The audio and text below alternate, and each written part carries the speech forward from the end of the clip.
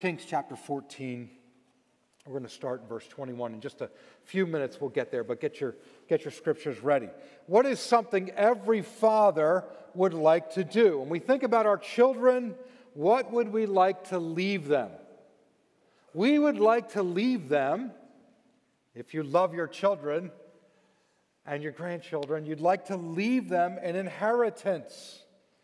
And the scripture affirms that goal. A good man leaves an inheritance to his children's children, but the sinner's wealth is laid up for the righteous.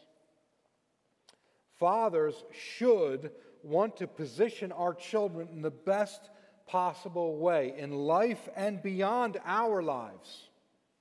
Not only during our lifetimes, but beyond. We want to give them what will help them be successful far beyond our lives so that our children's children and our children's children's children uh, are blessed by the legacy we leave. Now, of course, we pass along more important items than money. And most importantly, we pass along Christ. We entrust the gospel to our children. But leaving a financial inheritance, as this proverb points out, is also a good thing. We have to recognize something, though, something about inheritance, something about entrusting in the generations to come. There's a flip side to this, there's a dark side to what we pass along to our children. And this applies to fathers, and it applies to mothers, and it applies to all of us. But I do know, I do know that some dads are haunted by this reality we're going to talk about here this morning, and that our scripture is going to surface for us. You see, we dads are called by God to be the heads of our homes, and God has given us authority commensurate with the responsibility that He's called us to. But we fall short of the example that we're supposed to be, and we know it. We sin, and we know it. We're not all that we ought to be. We don't teach everything we should teach. The potential for regret is it's tremendous. We fail to perceive the nuances that we should perceive. We're dull when we should be sharp, and sometimes we use too many words when we should be listening. And sometimes we're silent when we absolutely needed to be speaking. We wrestle with our own sin continually, while at the same time seeking to teach our children the righteous life of Christ. We call our kids to trust the Lord and at the very same time, we're fighting the murmuring, murmuring complaints that come out of our own hearts against the Lord. And those are just a few examples. What I'm driving at is this we don't want to, but we end up passing along our own sin to our children.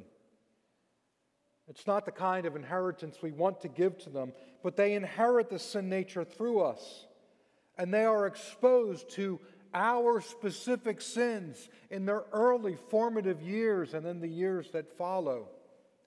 It's a devastating, unavoidable reality that pains every godly father. But as you have probably expected, and you may even know through experience, God never leaves his people without comfort, without salvation and without hope. The Lord upends the pattern of inherited sin so that it is no longer the controlling, driving, determinative force between father and child, or mother and child, or between any of us and any of the rest of us. This is true for Christian fathers and mothers and for all of God's people. God has delivered this powerful truth to us through redemptive history and we're going to see it this morning through the lives of three successive kings. I'll condense it like this Take heart. God disrupts our inherited sin with his grace. Take heart. God disrupts our inherited sin with his grace. Yeah, sometimes we look at our, our heritage. We, we look at ourselves and we look at, at, at what's going on with our kids. We, we look at that whole line and we say, oh my, my God, where is there hope in any of this? And if I can't, how will they? Take heart. God disrupts our inherited sin with His grace. And we're going to take this passage in three parts. First of all, compounding sin. Compounding sin. Have you ever watched a sporting event on television and it was so bad that you just couldn't take it anymore? Maybe it was your team and you said, That's it, I've seen enough. Um, I'm moving on. So you change the channel hoping for something better to watch. Well, reading here in, in 1 Kings and these, these previous chapters in chapter 14, it's a little bit like that. Last week, we saw the immediate apostasy of the northern kingdom of Israel. They separate from Judah, and their brand new king, Jeroboam, this is the northern kingdom, they went to work on separating themselves culturally from Judah as well, and religiously from Judah as well. And so Israel turned immediately to idols and false gods and pagan worship. And, and so, okay, we look at this and, and we're reading along. Okay, let's change the channel back to Judah. Let's see if they're doing any better. And that brings us to 1 Kings chapter 14, verse 21 and following. Let me read for you 1 Kings 14, 21 and following. Now, Rehoboam, the son of Solomon, reigned in Judah. Rehoboam was 41 years old when he began to reign, and he reigned 17 years in Jerusalem, the city that the Lord had chosen out of all the tribes of Israel to put his name there. His mother's name was Naamah the Ammonite.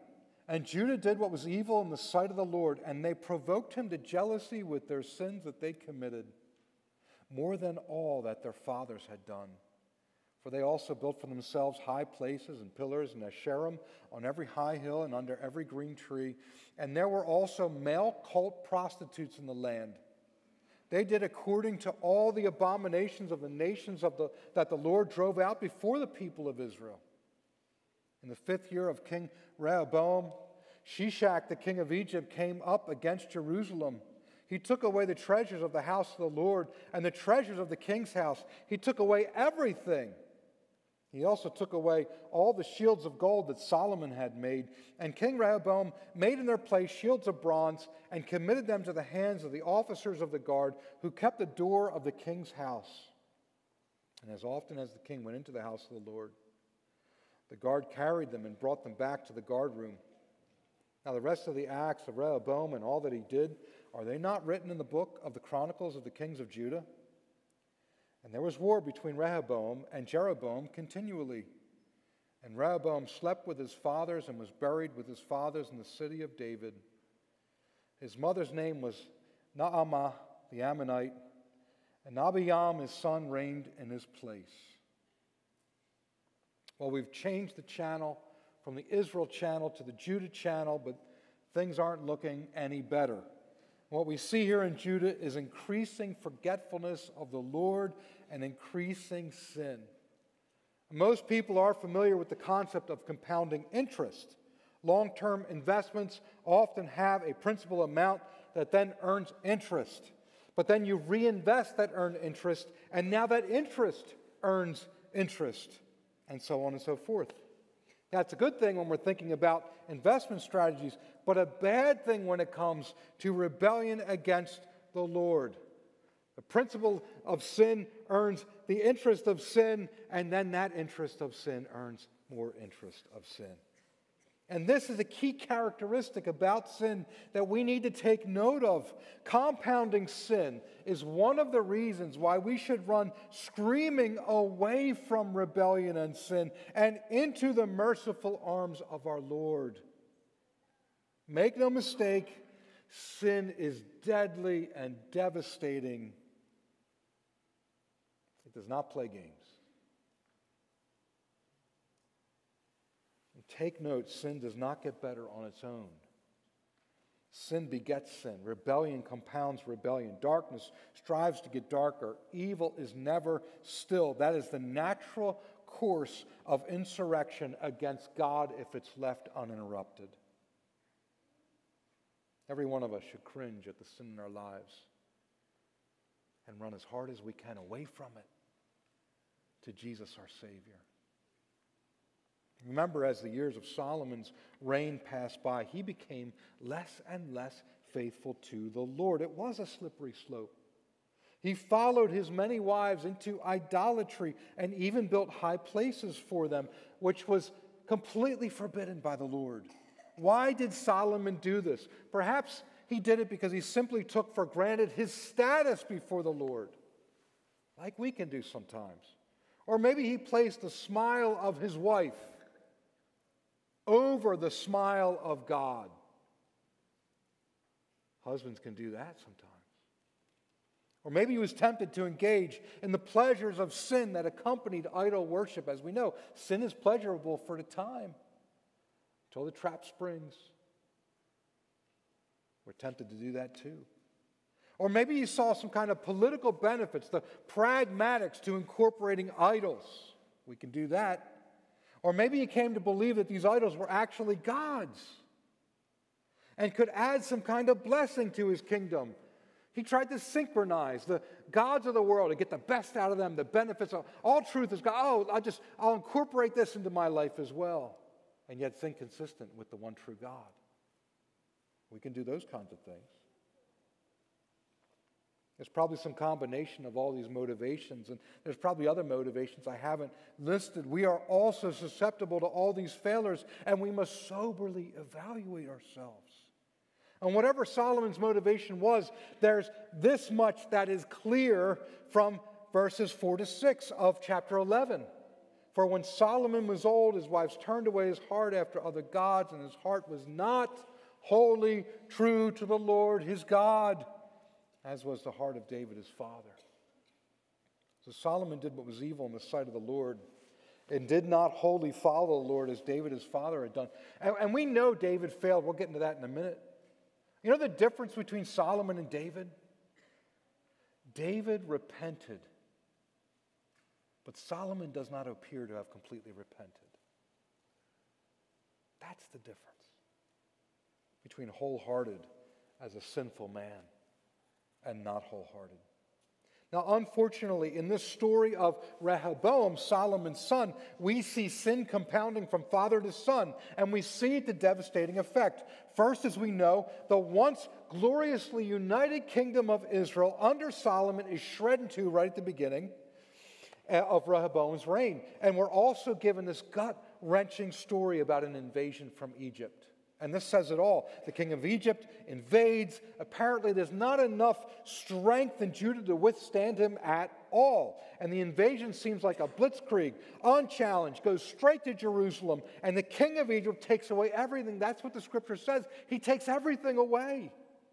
And we can't miss the message here. Remember when God redeemed Israel out of Egypt through Moses? Remember that they took the spoils of the people of Egypt with them. They plundered the Egyptians without even fighting them. God did it. And they took those treasures with them to the promised land gold, silver, and precious gems. Remember how Solomon made silver and gold common in Jerusalem. Remember that? Now, all of that blessing and prosperity and the security it represented, guess where it's going? Back to the land of slavery back to Egypt. In other words, all that treasure, God is saying, it came from me and you've lost it because of your increasing rebellion against me, your unrepented of rebellion. God gives and he takes away. Blessed be his name. Is that taking away was an opportunity for Israel to repent, for Judah to repent. Rehoboam's kingdom is greatly diminished because of his sin, and we have this final illustration to really drive it home. He has to replace the gold shields of his father, Solomon, with bronze shields, which is nothing in comparison to the gold. The kingdom is faded, the sparkle is gone, and the reason for it is his rebellion. And can you see how sin compounded through Solomon into his son Rehoboam? Solomon compromises with idols, and then Rehoboam expands and continues that revolt against God. He normalizes that revolt. Under Rehoboam, Judah creates idol shrines all over the place, and there's special mention of the Asherah pole, the Asherah totem pole, the, the fertility goddess. And we get that, that idea of the male prostitutes. In other words, all the activity that goes along with the fertility goddess all the sexual immorality, all out sexual immorality. You see, they embrace, the, the, the Judeans embrace immorality as good and healthy. In fact, it's wrong not to celebrate, not to engage in immorality. Does that sound familiar? Because of insurrection against the Lord and the compounding of sin, from Solomon to his son, things are getting worse in Judah and Jerusalem. But hold on, hold on. Take heart. God disrupts our inherited sin with his grace. And so let's move into the second part, and that's disruptive grace. We're going to read 1 Kings chapter 15, verses 1 through 8. And you're going to notice that there's not much here about Rehoboam's son, Abijam. But what here is crucial to take note of, we already saw that Solomon's heart was not wholly true to the Lord his God. And then we saw that this revolt against the Lord increased in Rehoboam. Now, as we go to read this, what would we expect to see in Rehoboam's son, Abijam? We expect to see more sin, compounding sin, right? Sure enough, that is what we're going to see. 1 Kings chapter 15, verses 1 through 8. Now, in the 18th year of King Jeroboam, the son of Nebat, Abijam began to reign over Judah. He reigned for three years in Jerusalem. His mother's name was Maacah, the daughter of Abishalom, and he walked in all the sins that his father did before him. And his heart was not wholly true to the Lord his God as the heart of David his father. Nevertheless, for David's sake, the Lord his God gave him a lamp in Jerusalem, setting up his son after him and establishing Jerusalem because David did what was right in the eyes of the Lord and did not turn aside from anything that he commanded him all the days of his life, except in the matter of Uriah the Hittite. Now, there was war between Rehoboam and Jeroboam all the days of his life. The rest of the acts of Abijam and all that he did, are they not written in the book of the Chronicles of the King of Judah? And there was war between Abijam and Jeroboam, and Abijam slept with his fathers, and they buried him in the city of David, and Asa, his son, reigned in his place. And as I mentioned, there's not a lot of writing here about Abijam. He only reigned three years.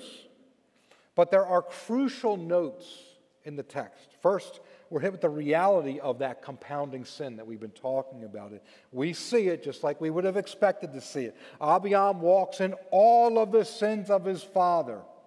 So, blatant idolatry, vulgar immorality, that's what he walks in. And we're told outright that his heart is not wholly true to the Lord his God. He's unfaithful to the covenant with God. He's unfaithful in his relationship with God, with the Lord.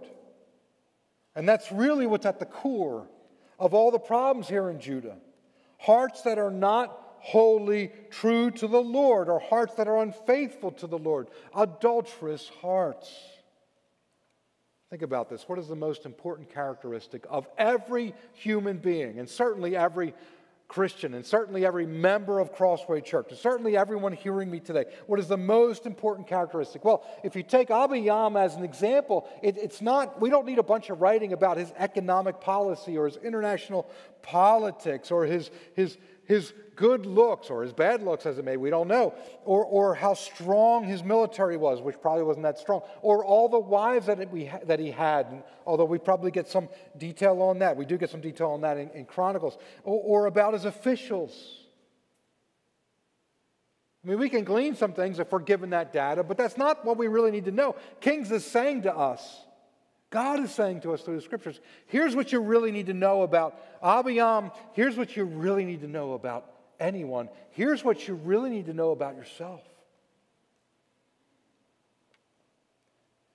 What we really need to know is how true our hearts are to the Lord. That's what matters. That's the standard, that's the measurement. How true are our hearts to the Lord? It matters for a king of Judah. That's what matters for everyone. It's ma- what matters for you, and it's what matters for me. If a heart is wholly true, then God will be our God. If a heart is not wholly true, then what would, he, what would we expect? We would expect God to reject, right? More on that in just a moment. And about now, you may be grieved over the sorrow of compounding sin, your own compounding sin. You may be thinking about the pattern of sin that you have passed along to your children, the bad parts of your example. Or you may be thinking about sins that you actually committed against your children. Or you may be thinking of the patterns of sin you will pass along to your children in the future. Or you may be stuck on the pattern of sin that your parents passed along to you. This can be discouraging to say the least, right? It is right for us to grieve this reality of the heritage of human sin. It is a sorrowful state of affairs. Nevertheless, we need to look steadily at it because it helps us to interpret the world and it helps us to understand our own lives as we see the state of things as they truly are. Dads, you and I are passing along sin to our kids, and it's not something new, it's old, it's inescapable, it's the human state without God's intervention. We inherited sin from our fathers, who inherited, who inherited it from their fathers, and so on and so forth, all the way back to Adam. When Adam rebelled, we were all cursed with the same inner impulse to revolt against God. And when our immediate fathers sinned, we, we went further. We picked up on their example. And when we sin, our children are impacted and influenced by our sin. And this is why it's so imperative. Knowing this fact, understanding that this should interpret our world for us, that I am a sinner and I will fail, and my children will experience it, and they will be impacted and influenced by it. This is why it's so imperative that our children not only recognize that we're sinners, that they're sinners like us, but that they see us repent from sin so that they understand what righteousness looks like, what a holy, devoted heart does. They need to see us leaning into sanctification that God is working in us. And they need to see us growing into the image of Christ. They need to see us broken and humble at times. We must pass along to them not only the inevitability of our sin, but also our repentance and our faith in the Lord Jesus Christ. They need to see us following our Lord as his disciples, and they need to hear us calling, Follow me as I follow Christ. Nevertheless, this reality of compounding hereditary rebellion is powerful and devastating, and every honest dad, every honest mom, and every honest Christian, every honest person knows that we need grace to save us. We need the grace of God, and that is precisely what we see in the kingdom of Judah with Abijam. Back to verses 4 to 5. Nevertheless, for David's sake, the Lord his God gave him a lamp in Jerusalem, setting up his son after him and establishing Jerusalem because David did what was right in the eyes of the Lord and did not turn aside from anything that he commanded him all the days of his life, except in the matter of Uriah the Hittite. Now, do you see the grace here? There's really very little difference between idolatrous Israel, the northern kingdom, and idolatrous Judah, the southern kingdom. There's very little difference between Kings Jeroboam in the north and King Abijam in the south. And yet, while the Lord will cut off Jeroboam's dynasty because of his rebellion, and the Lord will cut off several other dynasties in Israel in the northern kingdom because of their revolt against him. Our God is going to continue the dynasty of David through the sons and the grandsons and the great grandsons of David, including Abijam, the sinner, who is not repentant. Why? What's the difference? Why would God keep the dynasty of David intact and, and, and keep a lamp for them in, in Jerusalem and continue that dynasty forever while he won't do it for other kings? Upon first glance in the scripture up there on the screen, it may seem that this blessing is based entirely on David's obedience. But we get a big hint there. It's not just a hint, it's glaring. Glaring evidence that this cannot be. Because it's clear that David's obedience was far from perfect, right?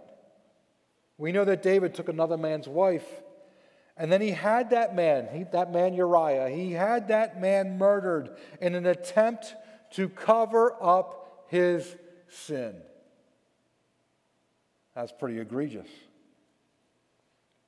And that was meant to be an understatement, by the way. I don't mean to say that murder and adultery are just slightly egregious, they're massively egregious. It's not that David's obedience was unimportant or uninvolved in God's promise. It's that God's faithfulness is what is truly in view here. God had chosen and promised David that his dynasty would last forever. And God's promise is rock solid, unwavering, as sure as it can be. David's sons will always be king forever because of God's gracious promise to keep that dynasty alive. Therefore, right here, in the midst of treachery from one of David's sons, when God should wipe out David's line, much like he will do to Jeroboam, instead, God remembers his promise and he reaffirms it and he continues it, and that is grace. That is the grace of God. That is how God's grace works. His grace calls forth our, our obedience. His promises prompt us to worship Him. But our obedience and our worship, it, it's, it's, it, we, through those things, we never earn grace through those things. The grace that we receive from God is never deserved it's always based on His promises. It's always despite our mutinous hearts. And it always disrupts the continuity, the compounding, the hereditary nature of our sin that we would pass along. But God interrupts it and disrupts it and stops it. He stops it in our own hearts. He disrupts the continuity of sin in our own lives and begins to grow us into the image of Christ. And He stops it in the hearts of our children and what we would pass along to them. And He disrupts it. And He gives grace to them so that they too can overcome sin. Do you believe that? Do you know His grace? You can know it today as you trust the Lord Jesus Christ. That goes from father to son, from mother to daughter and between all of God's people. The disruption of the continuity and the hereditary nature of sin. Take heart, brothers and sisters. God disrupts our inherited sin with his grace. And that brings us to our third part today, and that's indicative hope. There's a hope that's indicated in the final story of the king here. Now, if God's grace is actively working, even in spite of Abijah's treachery against the Lord, his insurrection against the Lord, then what might we expect to see next? How about the emergence of hope among God's people? If grace is active, salvation comes, and hope is given to God's people. In this case, maybe we'll see hope for the kingdom of Judah, as broken as it is. In our case, we'll see hope for us and for our children and for our children's children, as broken as we are. Let me read to you our longest portion for today. It's 1 Kings chapter 15, verses 9 through 24.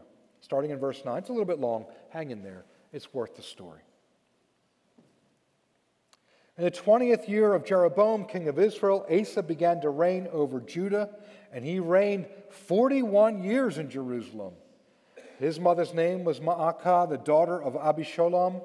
And Asa did what was right in the eyes of the Lord, as David his father had done. He put away the male cult prostitutes out of the land and removed all the idols that his fathers had made.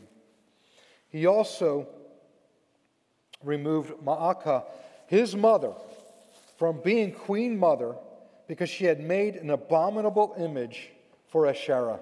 And Asa cut down her image and burned it at the brook Kidron. But the high places were not taken away. Nevertheless, the heart of Asa was wholly true to the Lord all his days, and he brought into the house of the Lord the sacred gifts of his father and his own sacred gifts, silver and gold and vessels. And there was war between Asa and Baasha, king of Israel, all their days. Baasha, king of Israel, went up against Judah and built Ramah, that he might permit no one to go out or come into Asa, king of Judah. Then Asa took all the silver and the gold that were left in the treasures of the house of the Lord and the treasures of the king's house and gave them into the hands of his servants. And King Asa sent them to Benhadad, the son of Tabrimmon, into the, hand, into the hands of, oh, sorry, the son of Hez, Hezion, king of Syria, who lived in Damascus, saying, Let there be a covenant between me and you, as there was between my father and your father. Behold, I am sending to you a present of silver and gold.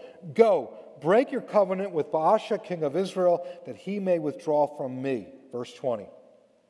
And Ben Hadad listened to King Asa and sent the commanders of his armies against the cities of Israel and conquered Ijon, Dan, Abel Beth and all Chinneroth with all the land of Naphtali.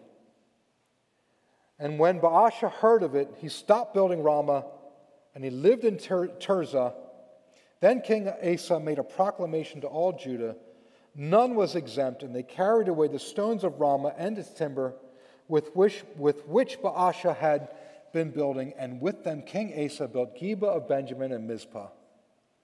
Now, the rest of all the acts of Asa and his might, and all that he did, and the cities that he built, are they not written in the book of the Chronicles of the Kings of Judah? But in his old age, he was diseased in his feet. And Asa slept with his fathers and was buried with his fathers in the city of David his father. And Jehoshaphat his son reigned in his place. And so we read about the grace of God to the house of David. And then what happens next? Along comes a king the son of a sinful father, the grandson of a sinful grandfather, who for some, uh, the great grandson of a sinful great grandfather, who for some reason breaks the pattern of compounding sin. For some reason, breaks the pattern of compounding sin, breaks the principle of hereditary rebellion, and has a heart for the Lord. The writer goes so far as to say that King Asa's heart was wholly true to the Lord all his days. Where does this come from? What happened? Why the interruption to the clear descent into chaos? Only one reason is possible God's intervening grace. God, in his sovereign goodness, in his faithful promise to David, his son brings about a king who looks to him. The Lord stepped in and saved. He gave grace to King Asa, and through the king, he gave grace to the people. And now the idols are taken away. Now the stain of sexual immorality is dealt with, it's put away. Now even nepotism lacks power over righteousness. That's pretty strong, right? That's pretty powerful. The king removes his mother from her office because she sinned with abominable idolatry. And now the people will experience steady leadership from one king in Judah for 41 years. Now treasures will be returned to the house of the Lord. Now grace reigns. Now hope emerges. You see, when grace comes in, the power of sin is broken and it can no longer demand obedience like it did before from slaves. And hope is born hope for a future, hope for life, and hope for living. Hope, precious hope in the grace of God. Do you see the effects of hereditary sin on your life? Do you see the effects of hereditary sin on the lives of those you love? Don't give up hope. Turn to the grace of God to deliver. Throw yourself on His mercy. Humble yourself before the Lord. Lift up your worship to Him. That same grace brought to us in Jesus Christ is our hope that God will break the power of sin wherever it is found in those that we love. That hope never ends. Cry out to Him for His grace. You probably have some questions about Asa as well when you look at the text there, maybe you know his story from Chronicles as well. And as much as he is commended here, some things are missing. First, the high places of worship are not taken away. So he goes a long way to purifying Judah, but not all the way. And second, in his war with Israel, he trusts in shrewd international politics, and frankly, he trusts in bribes once again takes the treasures out of the temple and hands them over, rather than in the Lord. He trusts in those things rather than the Lord. The Second Chronicle paints a bleaker picture of Asa than what we have here, and it goes into more detail. Kings gives us a more positive picture. But even while it is more positive, we are shown again, even with a wholehearted human king, like Asa or even David himself, there is a lacking. We are left wanting. And the disruption of heredity, compounding sin, is never as complete as we need it to be. Because we need it to be completely broken. And that taints our hope, if that's all we have. And so then, what is going on here? Why are these three kings, Rehoboam, Abijam, and Asa, given to us in history in this manner, in Kings?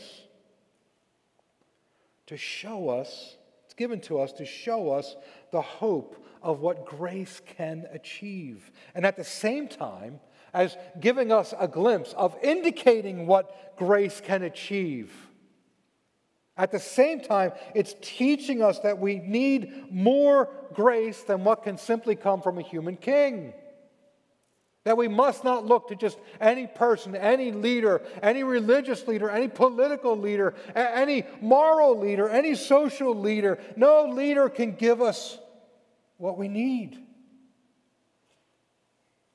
We do need a king, and we need a human king. That's one of the clear messages of kings. A good king can be a savior. And when a king is wholehearted, when he's repentant, when even he sins, that kingdom thrives. When a king is less than that, that kingdom withers and everyone in it suffers as well. And that principle can be applied to kings and it can be applied on, on that large scale. It can be applied to the leaders of nations. It can be applied to regional leaders. It can also be applied to head of households. And that principle can be applied to leadership wherever it's found, certainly with fathers in our homes.